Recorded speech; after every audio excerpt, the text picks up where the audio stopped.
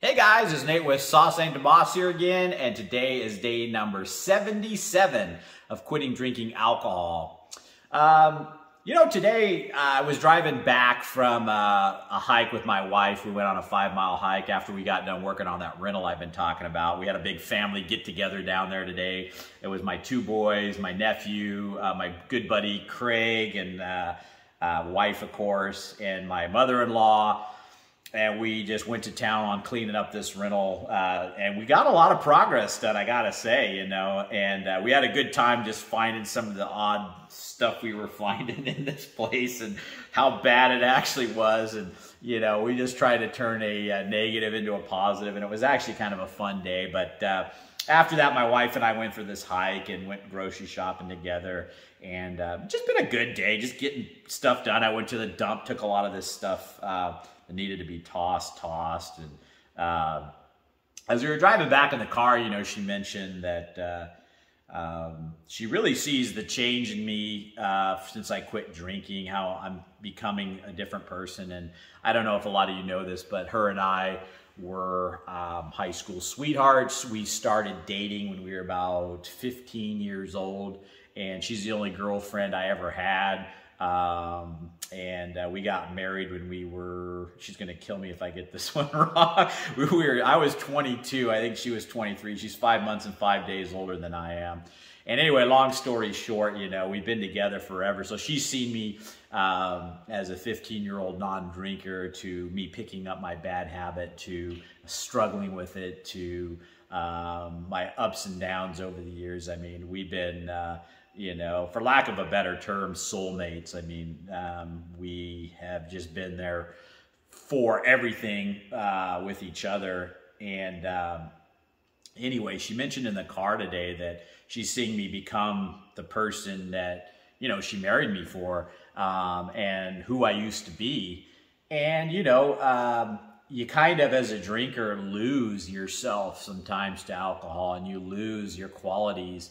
And, um, I remember when I was um, drinking, I used to see people out there that were non-drinkers that just seemed super happy, you know, and not that uh, being a non-drinker is what creates happiness. There's a lot of other things involved in creating a happy life, but I would see these non-drinkers and, um, you know, they seem to have more discipline, obviously. Maybe that's a part of um, not letting alcohol take over your life. You you have a good life. You're disciplined. Um, these people were successful at their careers. Maybe um, they just seem to have a good uh, spring in their step, a gleam in their eye, and happy. You know. And I go, I want more of that. You know. And I used to be that. And then slowly but surely, alcohol kind of just drained that away from me, and I let it. You know.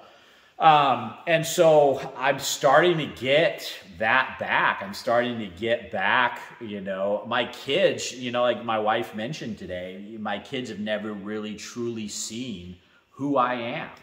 Uh, from the time that they were born, I was a drinker until this year. And um, yeah, it's kind of a bum deal. And uh, it, it's not kind of a bum deal, it is.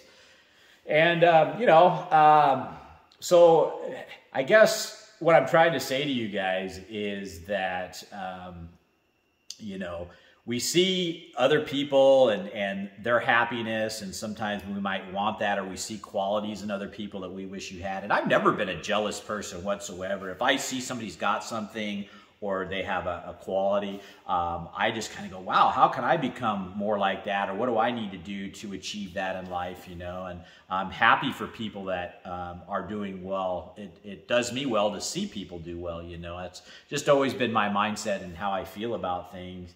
And um, I didn't realize when I was drinking that I was losing myself as much as I was. I was becoming this troll of a person, you know, that was uh, depressed and miserable and um, just uh, the constant conflict that comes along with uh, battling alcohol every single day, you know. And uh, I've always had in me that I wanted to be the best I could be, even when I was drinking. And I think that those of us that are drinkers that want to get away from it, um, have that inside ourselves of wanting to be a better person. We know we're not on the right path, you know, and um, so, I mean, that puts us in a, in a category, I think, that, um, you know, is at least to start because I think there's a lot of drinkers out there, like I mentioned in the past, that just say, I'm a drinker. That's what I am. That's what I'm going to do. There's no way in hell I'm giving it up. And uh, I'm going to do it till the day I die. And don't tell me I'm not drinking, you know? And that's, everybody's got a choice and, and uh, makes their own life the way that they want it to.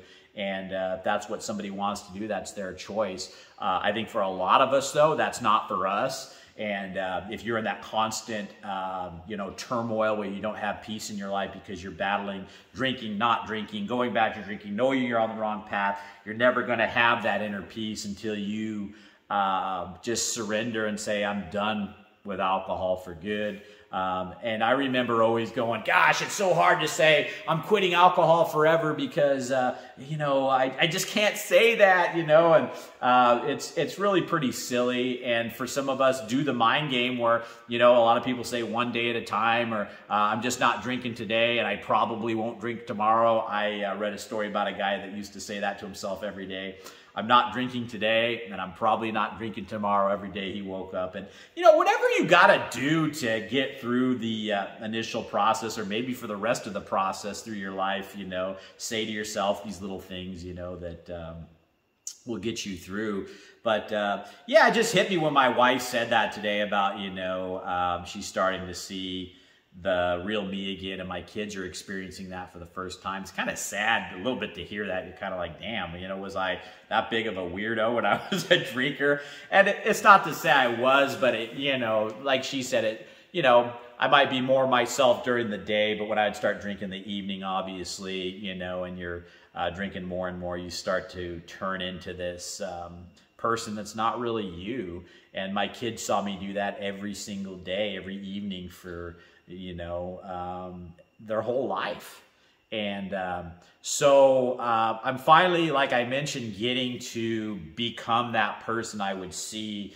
And I, I was kind of that person, you know, um, in my teenage years, in my early 20s. Um, and like I say, I used to have a lot of confidence. I used to be uh, in better shape. I used to be all the things I looked at in my drinking, last few drinking years, going, man, I want some more of that. How do I get that, you know? And uh, it was a freaking alcohol holding me back, and I let it, you know?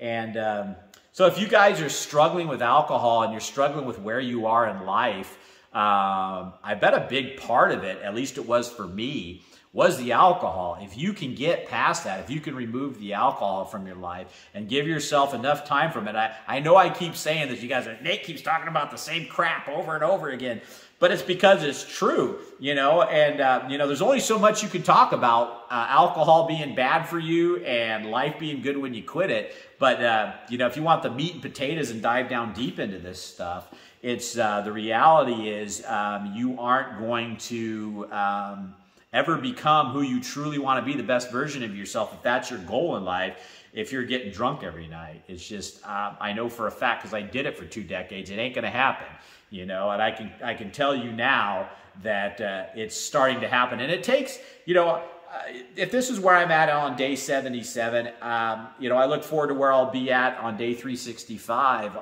at two years, you know. Um, you don't instantly just stop drinking and boom, you know, I'm Superman, you know, I'm the person I've always wanted to be, you know, and um, it's a gradual process. And I think that a lot of us are impatient. That's one of the reasons I drank was I want instant gratification. I want everything now. I've always been the kind of guy, if I start a project, I just want to get it done. It's just now, now, now, you know, and uh, this process isn't that, you know, and, and uh, that's been one of the biggest challenges for me is realizing that and give it the time and uh, being on day 77 now, I go, man, you know, I'm so glad I put up with the, the slow process up into here. And now it just keeps getting better and better and better. And I've already gotten past the 77 days of just, uh, not that the whole 77 days were bad or whatever. It's been uh, a lot of rewarding experience along the way. The first month is, the, I think, the biggest challenge. But then as you start to go, you go, man, I wish I would have done this a long time ago, knowing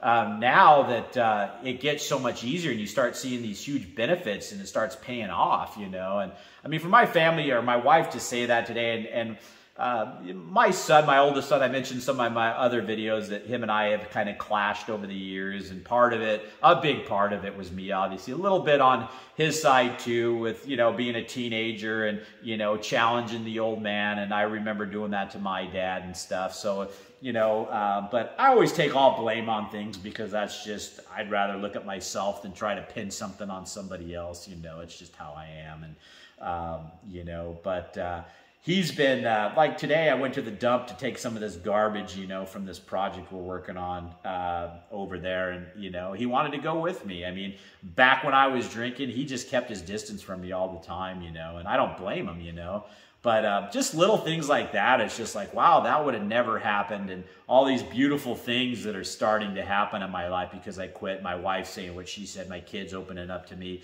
i mean and i've mentioned this stuff and i, I keep mentioning it but you know, um, it's just worth mentioning so many times because it's uh, what life's all about. It's about, you know, all these beautiful things that exist that I've been missing out on for the last 20 years because I've been drinking so darn much, you know, and um, I'm just really thankful and happy to be where I am now. So, um, if you're out there and you're seeing, I want more of that. I want to be that guy. I want to be that girl. I want to be the person that uh, you know has their crap put together. Then stop drinking and give yourself enough time to start realizing that that's in you and you can be that. I mean, we're all capable of being who we want to be. Um, you just have to get the alcohol out of your life, give it some time, and start working on yourself. That's it it's you know the process isn't that difficult you know if you really uh, put it in steps and you do one thing at a time stop drinking the alcohol give the, the process some time you know. Once you're at past the 30 days you know make make yourself go that 30 days. Don't fall back into the temptation one weekend two weeks and three. Give yourself the 30 days and, and don't have in your mind well after 30 days if this ain't working out i'm just going to go back to drinking you know. Don't have that mindset and then continue on because you know I'll tell you what, month two is easier than month one, you know, and month three has been easier than month two. And, um, you know, I was talking to a family member the other day on the phone that was uh, a pretty heavy drinker as well, and they're on six months. And, um, they were just saying it gets so much easier too. And, and, we were just talking about how the more time, the easier it gets. And we wish we would have known this, you know. And uh, so that's what I'm here to tell you guys. That's the point of this channel. Uh, if you guys are getting something out of these videos, give them a like, um, subscribe if you can. And most importantly, remember, sauce ain't the boss. You are. You guys have a great night.